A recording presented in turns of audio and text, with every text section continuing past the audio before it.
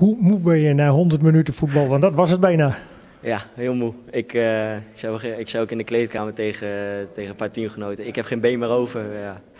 Het, was, uh, het was pittig, maar uh, aan, de, aan de ene kant vind ik dat ook wel weer lekker. Het strijden, strijden voor die drie punten. Want je weet als het zo blijft, dan heb je die drie punten. Dus dan ga ik wel door het vuur en dan, ja, dan maakt me dat niet zoveel uit.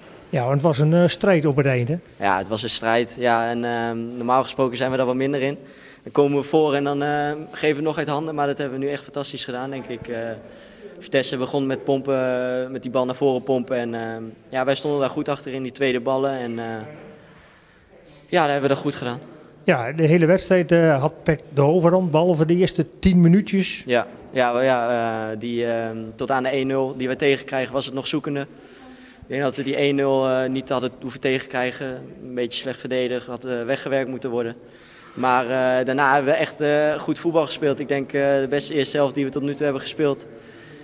Alleen geen goals? Ja, geen goals inderdaad. Ja, dat, dat moet nog uitbetaald worden dan in goed, als we goed voetballen dat we, dat we moeten gaan scoren. Dat zeiden we ook in de rust. Van, ja, allemaal, allemaal leuk en aardig dat voetballen, maar we moeten gaan scoren. En uh, ik ben er zelf ook eentje van die echt moet gaan scoren.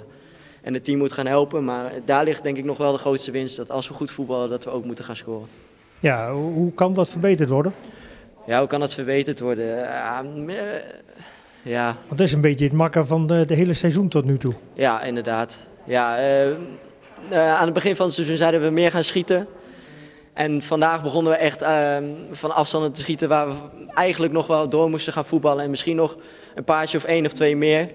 Ehm, ja, dus daar is het nog een beetje de middenweg in zoeken voor ons, denk ik. Ja, ik heb ook een paar schoten gezien van dichtbij, maar die gingen eh, nog over. Ja, ook. Ook, inderdaad, ja.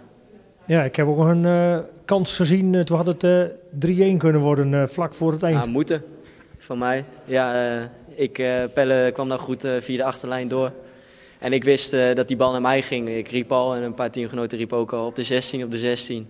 Ik wist dat ik hem kreeg, maar ik wou zo graag scoren dat ik hem veel te hard schoot. En ja, die ging bijna het zeilen uit volgens mij. Ja, is dat het verschil dat je geen spits bent? Een spits drukt hem meer? Ja. ja. Maar goed, de overwinning is over de streep getrokken.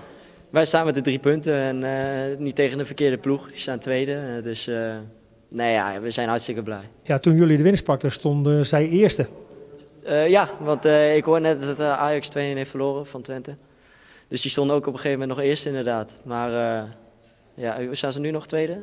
Ze zullen nu nog tweede staan, maar ja. ze, stonden, ze stonden even eerste ja. en, en, dan pakken jullie de overwinning. Ja, dus, ja weet je, kijken naar onszelf. Dus uh, jammer van Vitesse, jammer voor Vitesse, maar wij staan gewoon lekker met die drie punten. En volgende week moet je weer naar nummer 1. Dus je kunt winnen van de nummer 1. Ja, ja, tuurlijk. We hebben laten zien dat we dan van de nummer 1 kunnen winnen. Dus uh, waarom niet zaterdag? Of spelen zaterdag? Zondag weet ik niet. Maar waarom niet uh, tegen Ajax? Goed, en de vermoeidheid uh, er nu alweer een beetje weg? Ja, ja we zijn morgen vrij, dus rustig aan doen. Maandag weer volle bak naar Ajax. En oefenen op doelpunten maken?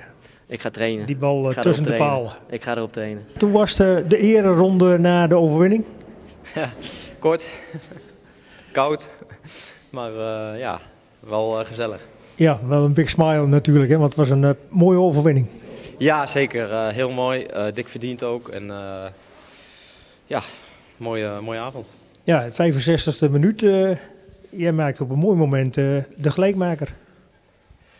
Ja, dat was zeker een fijn moment, omdat we net een rode kaart hadden gehad. En uh, ja, dan is het lekker als je gelijk uh, de 1-1 uh, erin prikt. Ja, maar dat geeft, neem ik aan, een flinke boost. Ja, zeker. Maar ik denk dat we daarvoor ook al genoeg kans hebben gehad op de 1-1 te maken. Dus ja, dat, dat hij in de lucht hing, dat, dat was wel duidelijk, denk ik. Ja, maar dan moet hij er nog in. En toen ging hij erin. ja, hoe, hoe, kwam, hoe, hoe ging die goal? Uh, ja, volgens mij Eliano die, uh, die schoot, uh, schoot de bal op goal. Alleen ik zag al dat de keeper hem ging vangen. Dus ja, voor mijn gevoel was het wel echt nodig dat ik hem nog aanraakte. en dat deed ik ook. En gelukkig was het geen wedspel. Ja, het was maar een tikkie, een schamping. Ja. Maar, ja. Die tellen ook. Die tellen ook. En ja, prachtig moment. En daarna komt de strafschop nog. Ja, ja Mike, Mike zet goed door en hij wordt onderuit gehaald. En hij blijft heel rustig, dat vind ik echt ontzettend knap. Dus uh, hartstikke mooi voor hem ook. Ja, want vaak zeggen ze als je onderuit gaat, moet je hem niet zelf nemen. Maar dat deed hij toch. En uh, inderdaad, hij bleef rustig en schoot hem goed in. Ja, absoluut. En uh, ja, dat, dat, dat is knap. Ik heb nog nooit een penalty gemaakt, dus ik vind het heel knap van. Ja, was het vandaag een teamprestatie?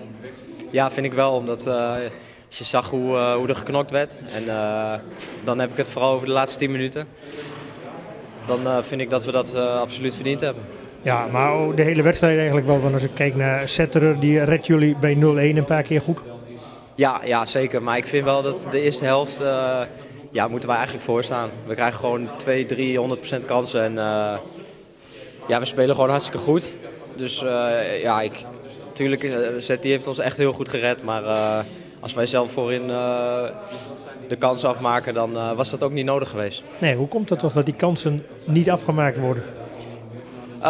nou ja, ik, ik weet niet. niemand doet dat expres, denk ik.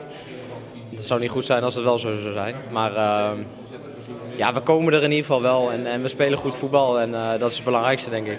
Ja, een mooie overwinning op de nummer 2. Uh, dit moet moed geven richting volgende wedstrijden. Ja, zeker. Al weten we natuurlijk wel dat, dat dit een hele lastige wedstrijd is. Misschien wel de lastigste van het seizoen. Maar goed, weet je, alles is mogelijk. En we hebben een goede wedstrijd tegen Vitesse gespeeld, dus dat geeft vertrouwen. Ja, en deze drie punten waren ook hard nodig gezien de ranglijst. Ja, absoluut. En ja, vanaf hier kunnen we weer verder. Ja, en dat moet ook. Ja, dat is wel nodig, ja, zeker. Zeker. je hebt een goed gevoel na deze wedstrijd, hè? 90 minuten in de benen. Ja, ja, ik hoorde net zelfs 100. Dus, ja, ja, zeven minuten kwamen erbij volgens mij. De eerste minuut een paar minuten, dus bijna 100. Ja, ja, ja nee, ik heb een heel goed gevoel. vooral ook omdat we gewoon ja, ik, inderdaad dat je 90 minuten hebt gespeeld, dat is lekker. En, uh, maar ik vind ook dat we echt als team goed gespeeld hebben en dat, dat is het belangrijkste. Ja, deze lijn voortzetten. Ja, absoluut. Ja. En we gaan nog meer goals zien van Jesper Drost? Ja, dat is wel de bedoeling.